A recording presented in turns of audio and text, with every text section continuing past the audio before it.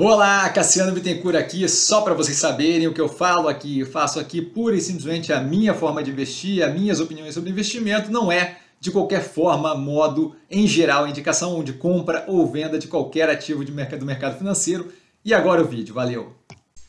Olá, Cassiano Bittencourt, pelo Visão Estrategista neste momento para fazer a análise do resultado da Suzano, uma operação de papel e celulose bem mais forte em celulose do que papel, bem diferente da Clabin, por exemplo, está justamente que diferencia consideravelmente da Clabin que a gente tem no portfólio. Tá? Na última análise do primeiro trimestre de 2024, que foi a última vez que a gente viu o ativo, nós tínhamos ali a possibilidade de compra da IP, da International Paper, pela operação da Suzano, a, a possibilidade da tentativa de compra, na verdade, foi avaliada na época e está disponível aqui na descrição desse vídeo, no vídeo justamente da análise do primeiro trimestre de 2024. Lá para o final da análise tem todo um pedaço falando só sobre isso. Tá? Aqui a gente começa com a estrutura acionária. Na tela para o pause apenas para informação de vocês. Na sequência, a gente tem a oscilação de preço desde a última análise no primeiro trimestre de 2024 até aqui. Vemos a evolução positiva no período, casado com a melhoria da qualidade operacional, da, especialmente na operação financeira e da operação. Tá? Nesse trimestre, a gente vê claramente o efeito de uma operação mais vinculada a commodity, tá? onde o resultado é em grande parte guiado por fatores exógenos, ou seja, que fogem do controle da operação, que estão fora da operação, nesse caso de forma bem positiva, tá? pelo aumento do preço da celulose em dólar e pelo fortalecimento do dólar em si, fortalecimento do ganho cambial que ela tem é, por ter grande parte dos custos aqui vinculados a real, a real e o faturamento, especialmente no mercado externo, em dólar. Tá? Isso dito, a gente passa ao due diligence, a abertura de receita líquida por segmento mostra o forte vínculo com a commodity, com celulose. Só para dar uma ideia, no caso da Clabin, celulose foi responsável no segundo trimestre de 2024, o terceiro trimestre ainda não saiu, por 33% da receita líquida, então bem, bem menor que, se não me engano, os 80% que estão na tela. Tá? Um dos principais motivos pela preferência por Clabin é justamente esse, tá? o baixo vínculo ali com a commodity em si, mais é, bens ali de valor agregado, tá? papel, cartão, craftline, por aí vai, mais vínculo com substituição de plástico de uso único, tá? e menos commodity de menor valor agregado e regida por fatores exógenos, como a gente vê por aqui. Tá? A gente vê também a forte evolução da receita líquida, especialmente pelo mercado externo.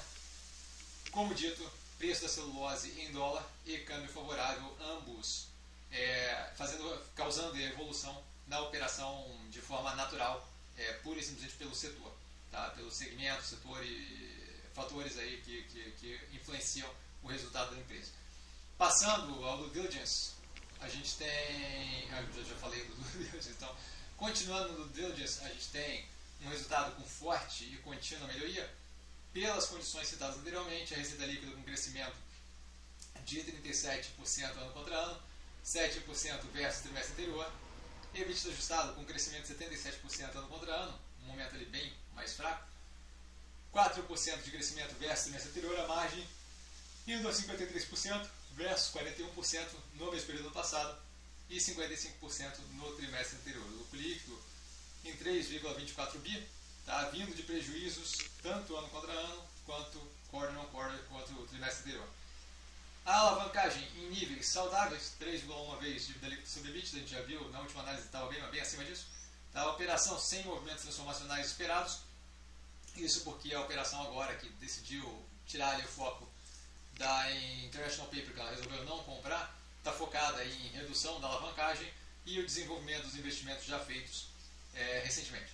Tá? Ainda temos, para fechar aqui, o custo médio bem competitivo, além da duration alongada, além da, do prazo médio de pagamento alongado aqui, a questão de alavancagem é realmente muito bem feita, estrutura de capital, nenhuma preocupação, a operação roda bem. Essa não é definitivamente a questão. Tá? Abrindo o segmento, a gente começa com papel e embalagem, que tem menor contribuição, como visto anteriormente, para o consolidado, apenas para dar mais cor. Tá? O restante é dado justamente pela celulose. Na tela, para o pause, aqui fica visível a diferença do dólar nos períodos, certo? Para ver a evolução agressiva do dólar ano contra ano e mesmo versus o trimestre anterior, ainda assim um crescimento agressivo do dólar, do FX médio, dólar médio, contribuindo justamente para o melhor resultado. Na sequência, fechando a abertura do custo caixa, apenas para informação na tela, nada que chame muita atenção, uma manutenção de elevação muito pequena do custo caixa de celulose, justamente por isso as margens bem mais fortes. Fechamos com o acompanhamento da evolução da unidade de Ribas do Rio Pardo, tá, que vem superando as expectativas e que tem ali já um custo caixa da celulose já mirado para reduzir a média do consolidado, o que é bem positivo para a operação, deve ter continuidade justamente de entrega aí bem positiva. Tá, esse dia da operação vem com forte entrega, melhoria fortemente causada por fatores exógenos, como demonstrado aqui, tá, especialmente pelo vínculo ali com commodities, no caso a celulose, o que reduz previsibilidade e capacidade de avaliação da operação, da, do, rendimento, da qualidade da operação médio e longo prazo, uma vez que vários fatores que afetam a operação são fatores que simplesmente não tem como prever. Tá? Esse fator, é, especialmente, ele me tira o interesse no ativo. E dúvida? Dúvida eu estou sempre no Instagram, arroba investir com sim, só ir lá falar comigo, não trago a pessoa amada, mas está sempre lá tirando dúvida e vale lembrar que quem aprende a pensar bolsa opera com um mero detalhe. A gente volta amanhã com duas análises finais, aí, a Romi e a Multiplan. Tá? Não vou é, estressar aqui hoje porque não tem provavelmente pressa, então fica para amanhã, a gente fecha todas as, análises, todas as divulgações que foram feitas essa semana e começamos aí com seis ativos analisados o, a temporada de balanço do terceiro trimestre de 2024. Um beijo para todo mundo e até amanhã. Valeu, galera. Beijão.